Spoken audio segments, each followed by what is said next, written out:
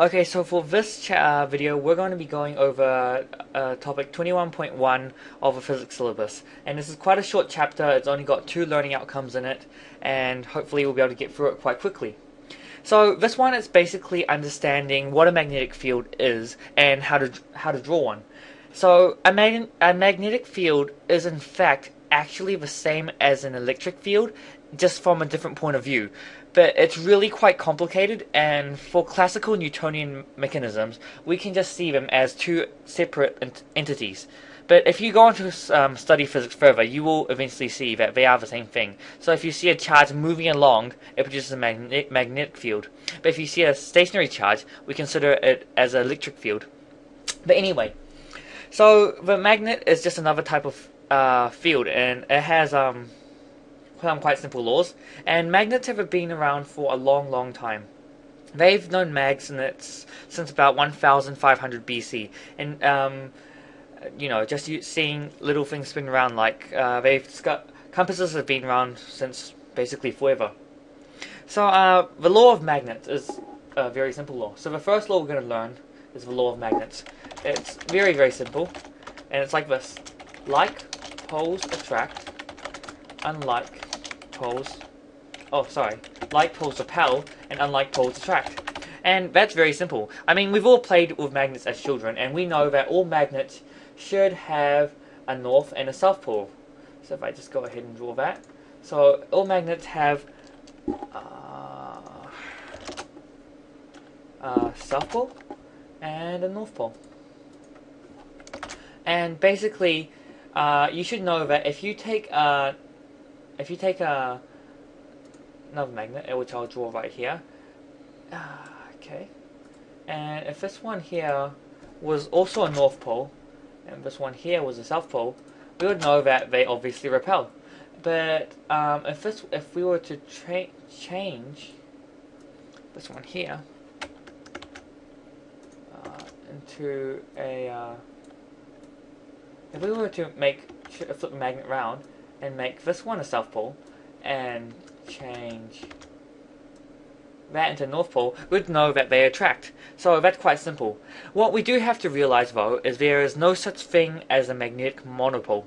Whereas for the electric fields, you have the idea that you have, you can have just a proton by itself or an electron, just a proton all by itself, and we can also have just you know an electron by itself.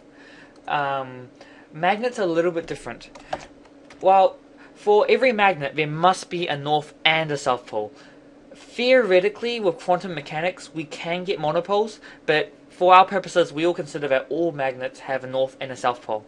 And what's really interesting is if you go ahead and say chop this magnet in half, what you would expect is you know the north side to stay north and the south side to stay south.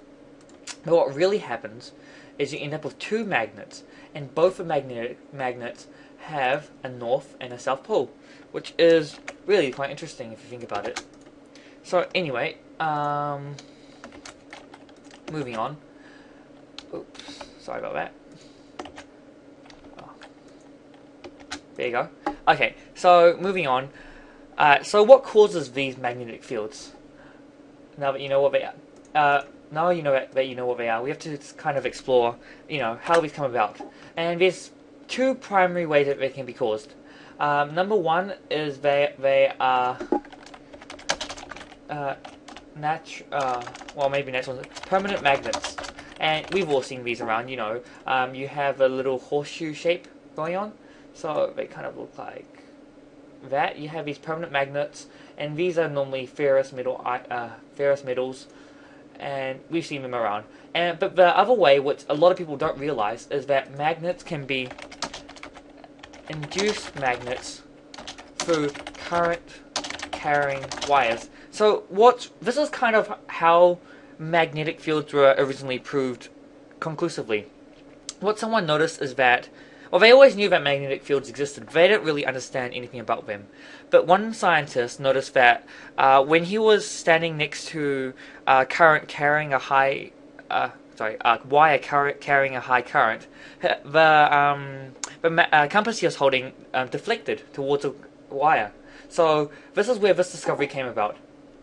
So what you'll find is that if you have a wire carrying a current of any kind, say that's for current going that way, um, you will actually induce a magnetic field, and which is quite interesting. All all uh, conductors, when they carry a current, will induce a magnetic field, and this is kind of to do with the idea that a, magnet a magnetic field and uh, electric field are the same thing. So all, um, if you, as you know, electrons all have the same, all have an electric field, and therefore they all have man magnetic fields. So that that's kind of why all current carrying conductors create magnetic fields.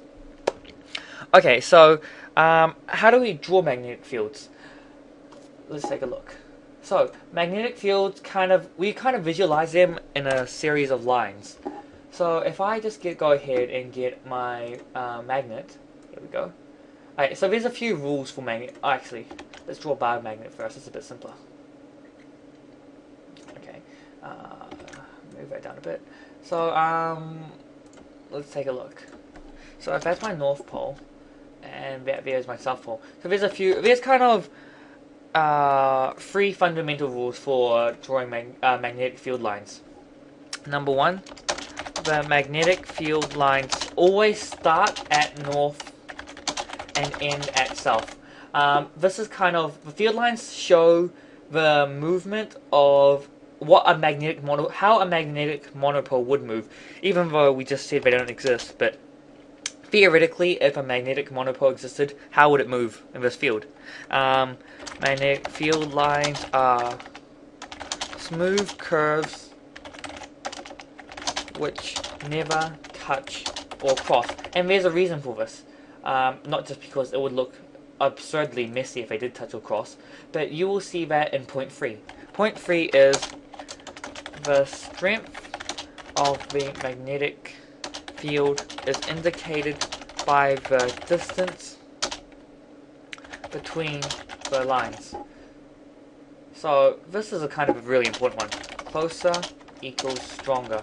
So there we go. So I'm going to go ahead and try and draw some magnetic fields. Not the best artist, so this may come out a little bit wonky, but uh, okay. So here we go. So magnetic field lines always end at north and always come back at south. So your well, okay, let's try give this a go. Uh, yeah, just pretend these are smooth curves. Ah. Okay, what I was trying to convey here is that um, as you can see my outer line is further away from inner line and that's because magnetic fields kind of just like electric fields exhibit the radial kind of effect. That is the closer you are to the magnet the stronger the field is. So I try to convey that here um, it doesn't come out very clearly. And what is important is you must indicate the direction of your field. So that see all my they always go from north into south leaving the North Pole towards the South Pole. So that's how you draw magnetic fields. There we go. So that's how you draw magnetic fields. And um, the last thing I want to talk about in this video is uh, the idea of a compass, which we this is basically which is pretty much the most common magnet we've we've all experienced and all kind of used. Um, I want to point out a very very interesting fact. Okay, firstly, uh, this one is not as important to the syllabus, but it's always good common knowledge to know. As you probably know, there is a geographic north and south pole It looks like that. And um, this is where all our maps point towards, the north and the south. So we call this one here the North Pole. And we call this one here the South Pole.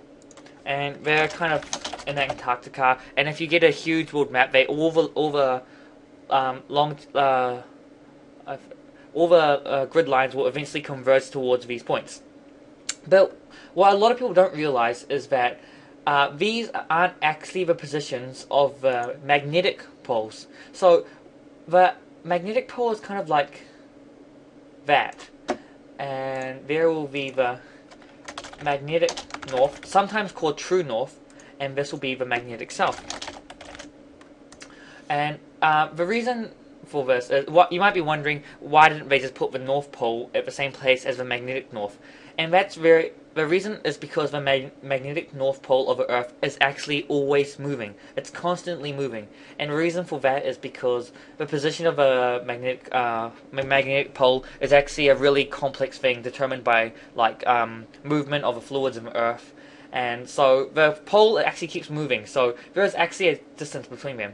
So the north your compass points to is not the same north as your map shows what north is. And this is an idea called magnetic declination that um, most navigators and trampers should be very comfortable with. If you're more interested in that, you can go read up on that. And so it's called magnetic declination. Um, uh, so yeah, um, but also what's very interesting is that if you have a magnet, a magnet, like uh, that, if you have a magnet, and you'll have what you'll call the north pole of a magnet, the south pole, um, the north pole of a magnet acts, points towards the north pole, and this is actually what we've um, classified as the north pole of a magnet, which I might be sounding a little bit crazy here, but uh, stick with me. But the north pole of a magnet points to the north pole, but the north pole is actually its polarity is actually a south pole.